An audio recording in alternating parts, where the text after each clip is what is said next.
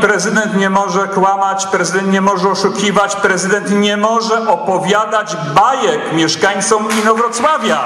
Na Boga, nie wolno tego czynić.